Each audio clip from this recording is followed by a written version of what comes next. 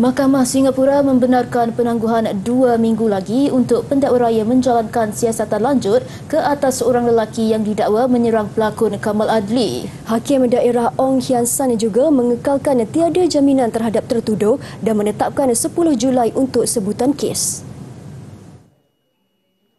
Penangguhan itu juga tiada bantahan daripada peguam tertuduh Wee Hong Shen yang turut memohon jaminan. Lelaki berusia 33 tahun itu didakwa di Mahkamah Negeri pada 14 Mac lalu kerana disyaki terbabit dalam kes menyebabkan kecederaan dengan senjata berbahaya secara sukarela terhadap suami pelakon Ukasha Sen Rositu. Sabit kesalahan boleh dihukum penjara sehingga 7 tahun, denda, rotan atau mana-mana kombinasi hukuman. Pada 12 Mac lalu, suspek didakwa menyerang pelakon berusia 30 26 tahun itu ketika acara jualan Mega Hari Raya 2023 di Dewan 5A Expo Singapura dengan baton yang kemudian dirampas oleh polis sebagai bukti. Kamal yang cedera terpaksa menjalani pembedahan di sebuah hospital di Singapura.